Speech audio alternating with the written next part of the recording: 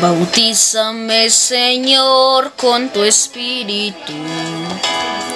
Bautízame, Señor, con tu espíritu. Bautízame, Señor, con tu espíritu.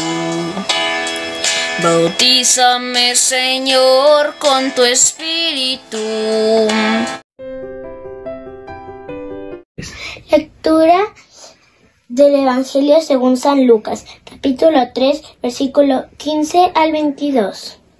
Sucedió que cuando todo el pueblo estaba bautizándose, bautizado también Jesús, y puesto en oración se abrió el cielo y bajó sobre él el Espíritu Santo, en forma de corporal como una paloma. Y vino una voz del cielo, Tú eres mi Hijo amado, en quien me complazco.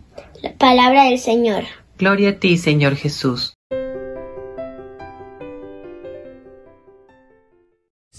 Amiguitos, uno de los momentos más importantes de nuestra vida de los católicos es el bautizo. Es un gran regalo que nuestros padres nos, nos dieron cuando éramos bebés.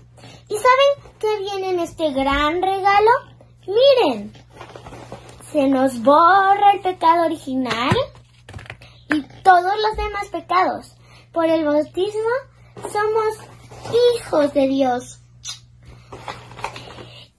Hacemos parte de la iglesia y nos convertimos en profetas, sacerdotes y hasta reyes. Luquix, cuando Jesús fue bautizado, se oyó una voz que dijo, Tú eres mi hijo amado, en ti me complazco.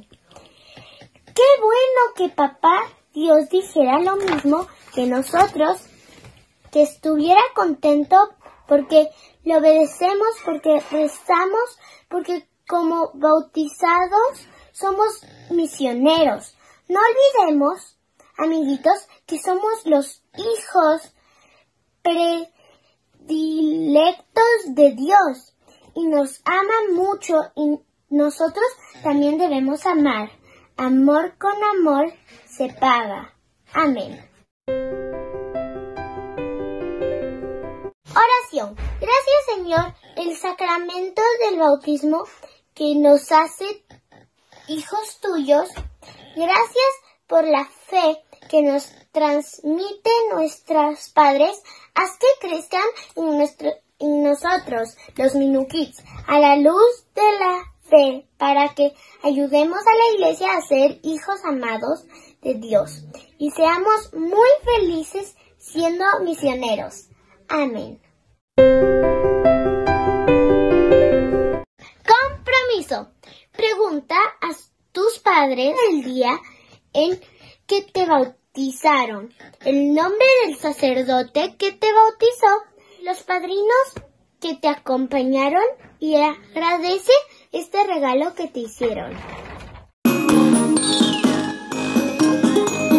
amigos, nosotros los Minukids queremos pedirles un favor.